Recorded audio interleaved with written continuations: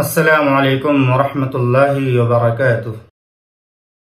نحمده ونصلي على رسوله الكريم اما بعد۔ معزز محترم ناظرین و سامعین، دینی اور اسلامی بھائیوں، آج کے درس کا عنوان ہے کہ کیا رمضان کے فرض روزوں کی نیت کرنا زبان سے ثابت ہے؟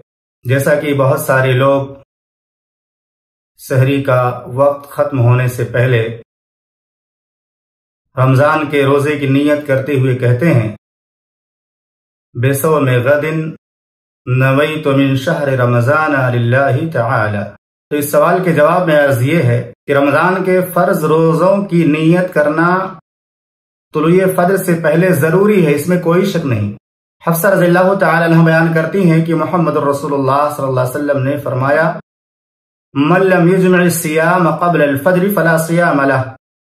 جس شخص نے رمضان کے فرض روزے کی نیت طلوع فجر سے پہلے نہیں کی، اس کا کوئی روزہ نہیں۔ یہ سنن ترمیزی کی سات سو تیس نمبر کی روایت ہے۔ اللہ مالبانی رحمہ اللہ نے اس روایت کو صحیح قرار دیا۔ اس روایت سے بات ثابت ہو گئی کہ رمضان کے فرض روزوں کی نیت کرنا طلوع فجر سے پہلے ضروری ہے، لیکن نیت زبان سے نہیں کرنا ہے، بلکہ نیت دل سے کرنا ہے۔ رمضان کے فرض روزے کی نیت زبان سے کرنے کی کوئی بھی دلیل قرآن و سنت کے اندر موجود نہیں ہے۔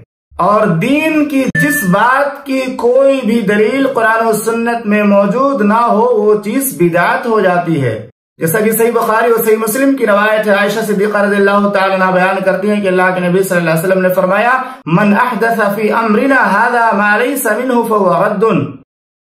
جس نے ہماری اس دین کے اندر کوئی نئی چیز ایجاد کی جو اس دین میں نہیں ہے تو وہ چیز مردود ہے۔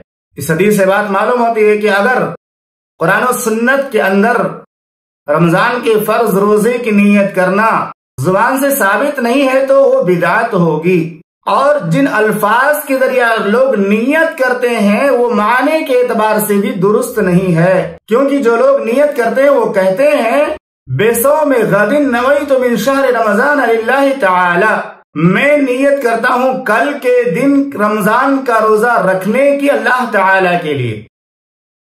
اس میں غد کا لفظ بولا جاتا ہے اور عربی زبان میں غد کا لفظ آئندہ کل کے لیے استعمال ہوتا ہے۔ گویا کہ آدمی روزہ آج رکھ رہا ہے اور نیت کل کے دن روزہ رکھنے کی کر رہا ہے۔